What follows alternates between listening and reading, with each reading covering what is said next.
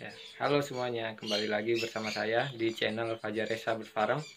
Nah, di part 2 ini saya ingin menunjukkan uh, cara merawat baby Sankono dari nol hari ya. Mulai dari perawatan suhunya sama cara menyepet dari nol hari.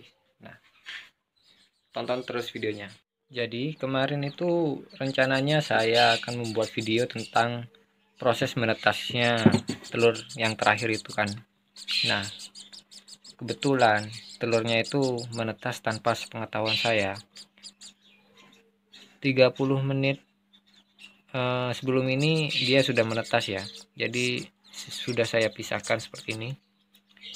Dan saya akan menunggu dia sampai BAB atau pup pertama kali. Nah setelah pup pertama kali baru saya akan spet harus kalian ketahui teman-teman uh, untuk menyepet anakan yang baru menetas itu jangan langsung dispet ya. Usahakan dia harus mengeluarkan kotoran terlebih dahulu.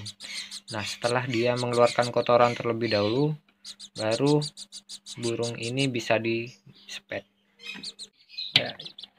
Jadi sekarang sekitar udah hampir dua jam setelah menetas akhirnya dia sudah pup. Kayaknya sudah dua kali pup. Ini waktu yang pas untuk segera uh, menyepetnya atau mengasih makannya.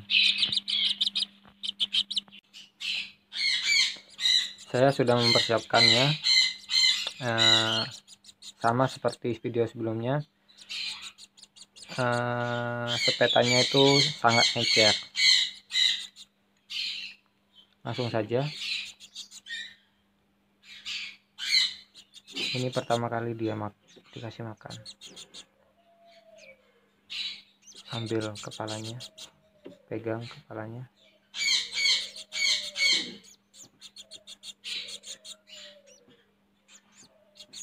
Nah dia mulai nyasar taruh di bagian samping paruhnya dan keluarkan sedikit demi sedikit.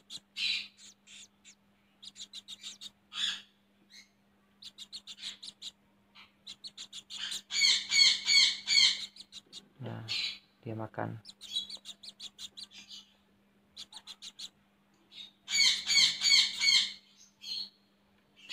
Perlahan saja karena tembolonnya masih sangat kecil.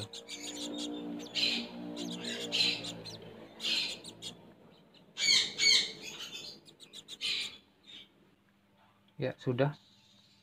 Jangan terlalu banyak karena ini pertama kali dia makan. Jadi tembolonnya itu masih sangat kecil. Nah ya. dan saya akan mengganti alasnya seperti seperti pada saudaranya. Nah ini saudaranya ini. Saya titipkan ke saudaranya dulu. Karena saya akan memberi alas serbuk kayu. Rapikan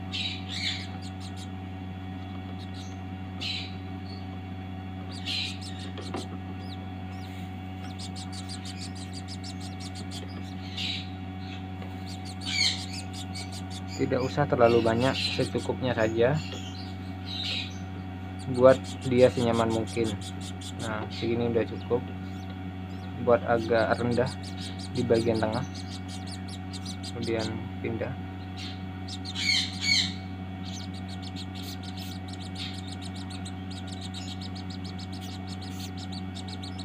Nah saya yakin mereka sudah nyaman. Taruh kembali ke dalam inkubatornya.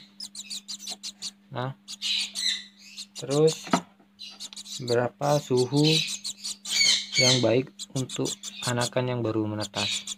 Nah kebetulan yang baik itu kalau baru menetas 35 sudah cukup.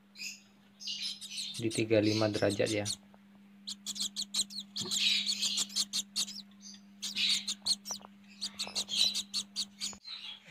cukup sekian video kali ini. Semoga bermanfaat. Uh, proses cara memberi makan burung san, anakan burung sankondor yang baru menetas. Jika ada pertanyaan dan kritik serta saran bisa komen di video ini. Jika butuh bantuan atau informasi yang lebih lanjut bisa hubungi nomor WhatsApp 087 850 555 016 jangan lupa like, komen, dan subscribe dan terus ikuti video-video saya selanjutnya. Terima kasih